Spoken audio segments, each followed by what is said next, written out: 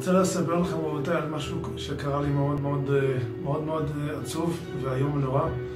הבן שלי קיבל איזשהו לייזר אדום, שכמו שכל הילדים משחקים איתם, הדברים האלה שמצביעים מרחוק.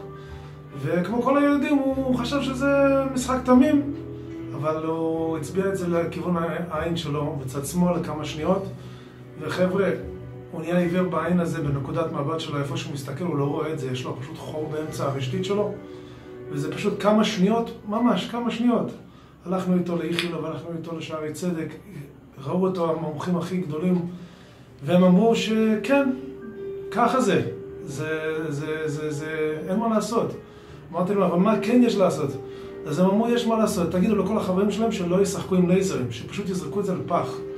זה מה שצריך לעשות, לזרוק את הלייזרים האלה לפח. הרופא שהיה פה בביתר, שהוא הסתכל עליו, אמר, רק החודש הזה בביתר בית שבע שאני עובד, ראיתי ארבע מקרים כאלה של ילדים שנהיו עיוורים, בגלל המשחק המטופש הזה שקוראים לו לייזר. אז מי ששומע אותי, מי שרואה אותי, שילך לכל החנויות ושיגיד למוכרים, תעיפו את המשחק הזה, זה לא צעצוע של ילדים, זה צעצוע מסוכן. כמו שלא מוכרים להם נשק, גם לא מוכרים לילדים לייזר.